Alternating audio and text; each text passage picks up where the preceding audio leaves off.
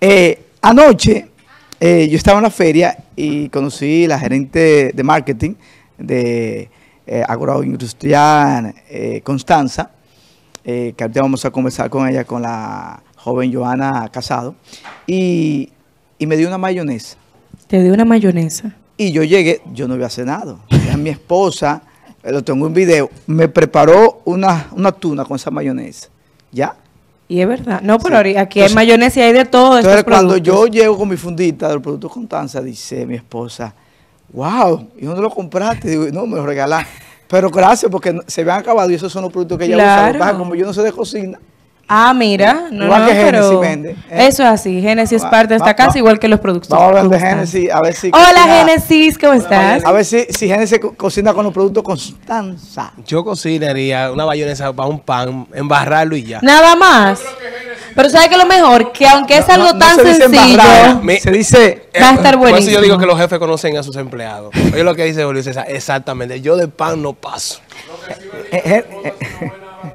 Ah, no, mi esposa, sí. Eso sí, la autora es buena en eso. ¿Qué tenemos en las redes? Bueno, ¿Qué hoy, te- hoy traigo algo diferente. Aparte de que traigamos la información, ¿Cómo? vamos para nuestra gente de YouTube. Traigo eh, una noticia muy importante, de la más comentada, y traigo un top 5. Un tofá. Un top 5. Traemos un top 5 de... ¿Pero top de qué? Bueno, de los capos que han Espérate, caído. señores. Vamos a dejar a Génesis solo, que va a hablar de ese tema. Exacto. Estamos en las redes sociales del toque de mediodía.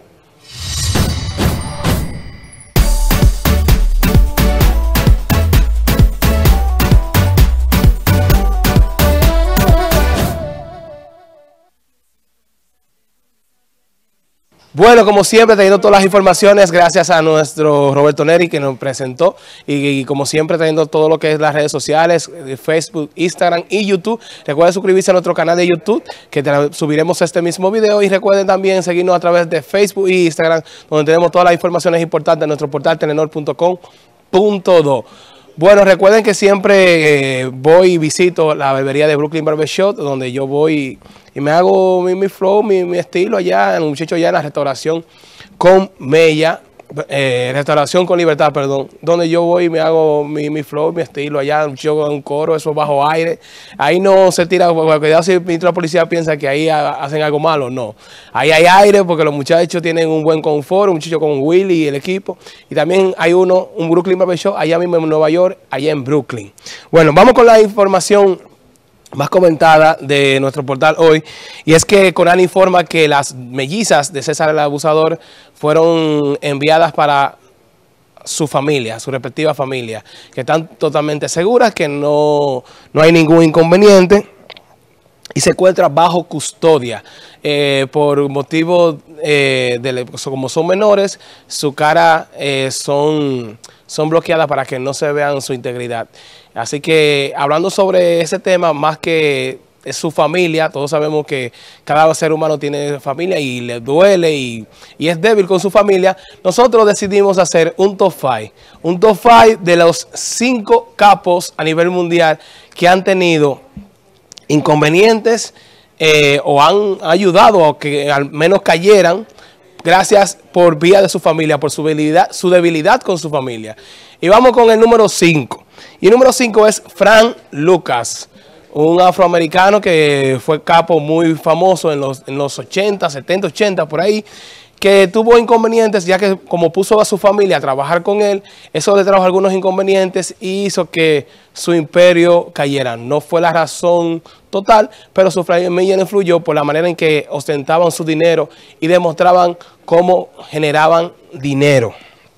Número cuatro, ese señor Reinaldo Zambada García, eh, que le decían alias el rey, es el hijo de Ismael Zambada.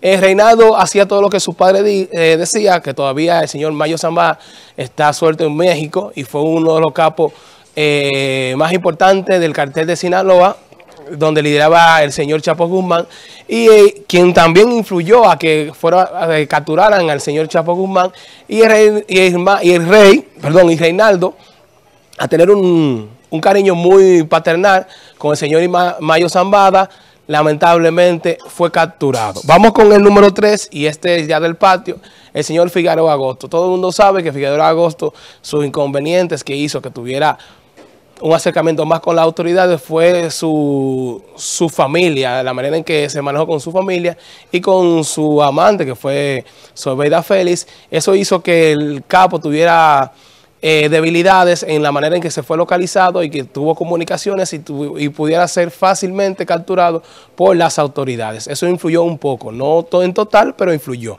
Vamos con el número dos y muy conocido, y ese señor Chapo Guzmán. El Chapo Guzmán, igual que el señor César Abusador, era débil con sus hijas y, y, el momento, y con su esposa, y en el momento que se iba moviendo, que no aguantaba en la manera en que estaba escondido, fue, trataba la forma de ver y poder ver a sus hijas y a su esposa, y eso hizo que fuera capturado fácilmente por las autoridades norteamericanas y mexicanas. Y el número uno, que todo el mundo conoce, es el señor Pablo Emilio Escobar.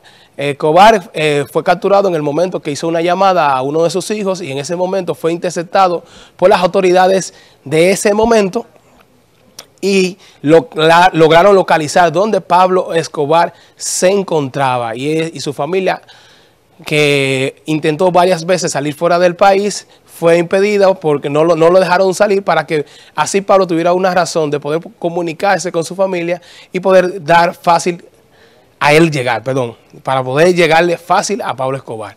Eso es un top 5 de los cinco. Espero que ustedes comenten en nuestro canal de YouTube de Telenor, puedan dar opiniones, pueden darme sugerencias para el próximo top 5 que le vamos a hacer cada jueves. Así que las personas recuerden suscribirse al canal de YouTube de Telenor y también seguirnos a través de nuestra cuenta de Instagram y de Facebook. Así que seguimos aquí con el toque del mediodía.